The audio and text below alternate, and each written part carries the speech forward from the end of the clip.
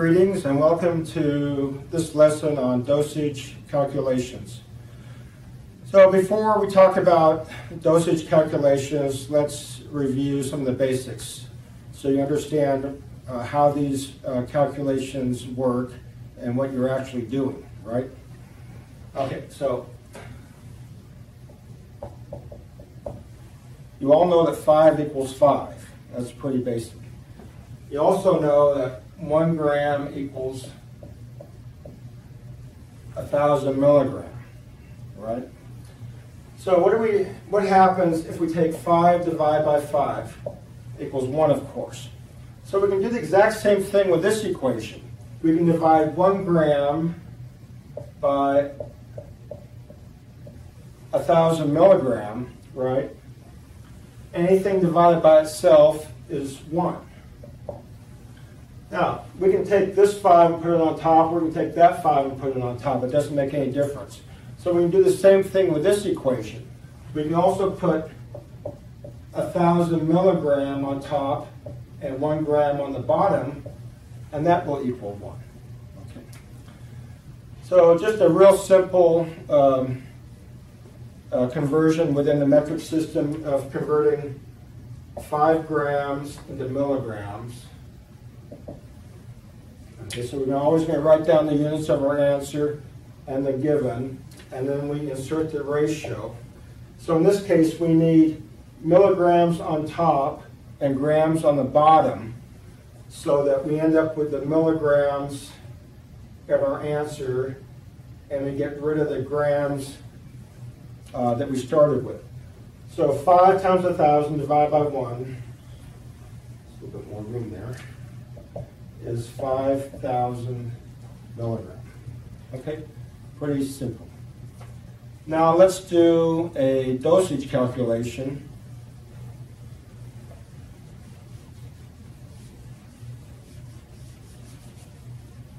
Okay, so in this case, we'll do something simple. Uh, the doctor prescribed 500 milligram, and we want to know how many mLs to dispense.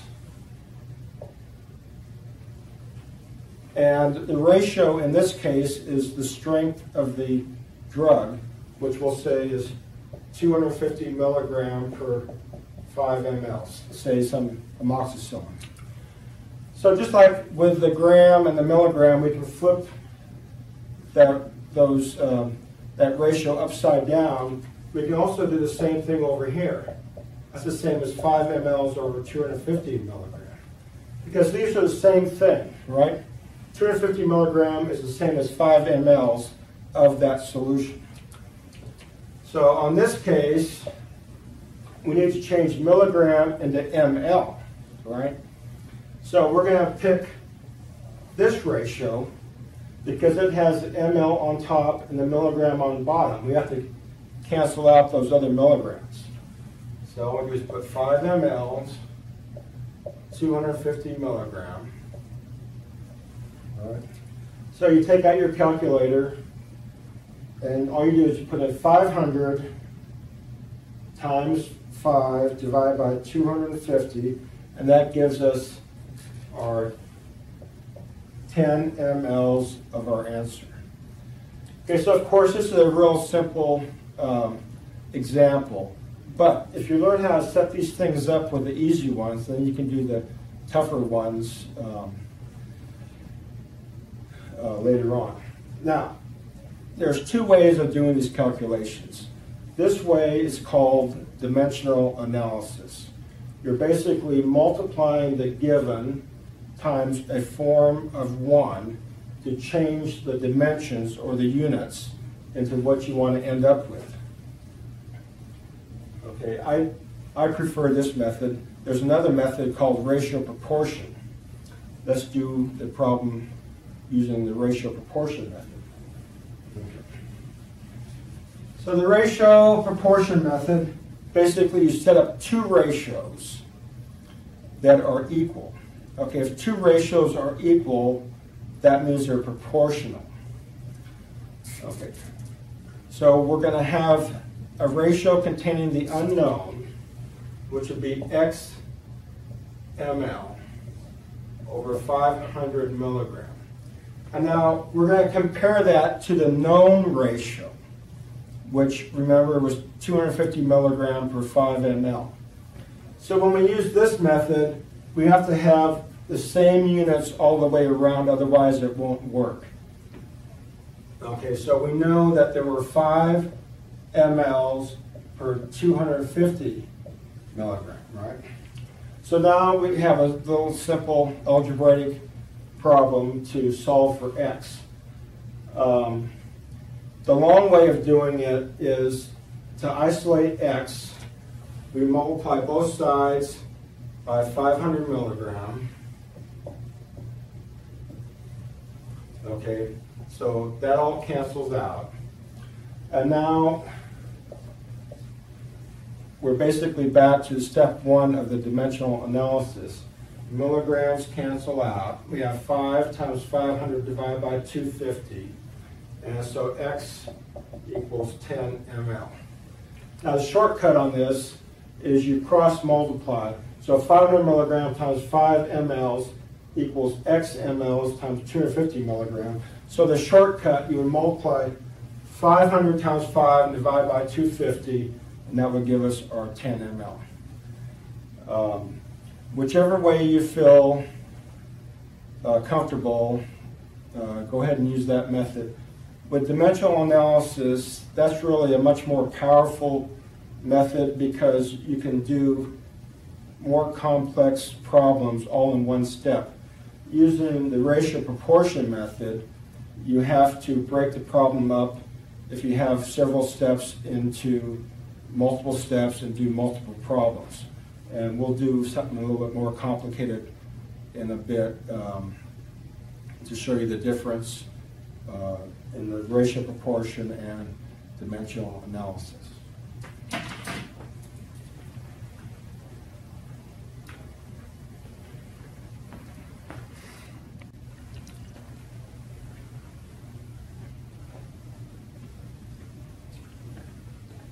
Okay, so I promised you something a little bit more complicated, so here it is. Uh, on this one, this calculation, the patient weighs 180 pounds. He's going to be dosed at 25 milligram per kilogram per day. And that's going to be divided into four equal doses. The drug is available as 100 milligram per ml. And we want to know how many mLs per dose. Okay, so just like the simpler problems, this problem is set the same way.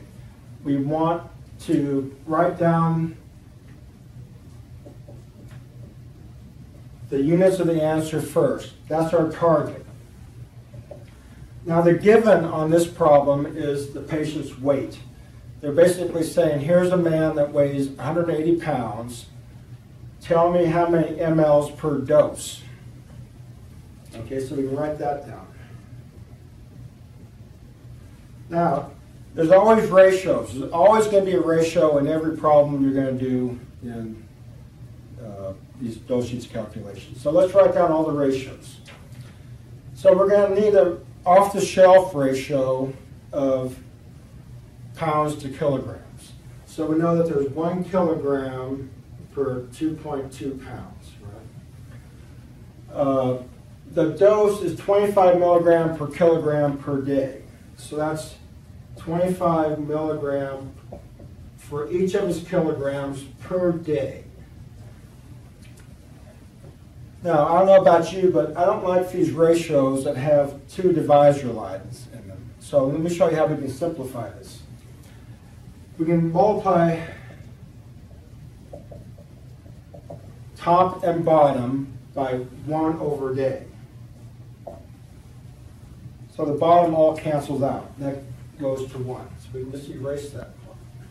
Now we have 25 milligram times 1 over kilogram times day. Or we can just simplify that as 25 milligram over kilogram times day. Okay, so now this is a lot easier to work with than that. So we're going to be using this instead of that. Um, we're also another uh, ratio is 100 milligram per ml.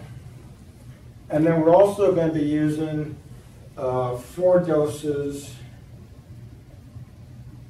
per day. Okay. So these are the tools we're going to use to change pounds into mLs per dose. So let's go ahead and get started here. So we have uh, one kilogram per 2.2 pounds. That one's gone. Now we'll put in this guy here, right? 25 milligram over kilogram times day. If we stopped right now, we would have milligrams per day, but we need mLs per dose. So let's change milligram into um, ml. So we're going to use this ratio up here. We need ml on top. So we have 1 ml over 100 milligram. If we stopped right now, we'd have mLs per day, but we need mLs per dose. So we're getting pretty close. Need a little bit more room there. So now we're going to change, we have to change day into dose. So we're going to use this one down here, but we have to flip it upside down. So we cancel out day. So it's one day for four dose. Okay, so day cancels.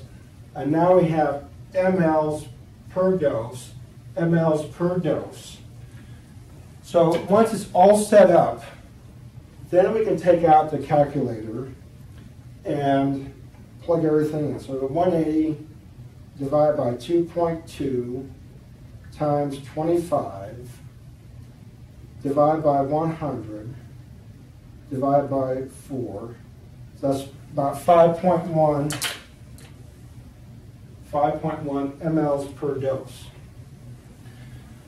So I know this seems a little complicated, but um, if you learn the basics, you know, starting with just how to convert grams to milligrams, when you get to these harder problems, they all work the same way, and with a little bit of practice, you can do something this complicated uh, pretty simply. Now, the other way is using ratio proportion. We have to change 180 pounds into kilograms. Okay, so we've got X kilogram over 180 pounds equals one kilogram over 2.2 pounds, right? So X kilogram, we got 180 times 1 divided by 2.2. So he weighs 81.8 kilogram. That's one down. Now we have to figure out how many milligram he's going to get per day. So we're going to set up another problem. So we're going to have X milligram per 81.8 kilogram, and that's per day. So we're just going to make a little mental note that whatever we get is how many milligrams per day. And the known ratio is 25 milligram per kilogram per day. So solving for x here, we get 81.8 times 25. And that will give us 2,045 milligrams per day, right? And now we have to figure out how many milligrams per dose. So he's getting four doses per day, so we can just divide that by four, and that's going to give us 511.3 uh, milligrams per dose. Right. And then we have to change milligrams into mLs per dose.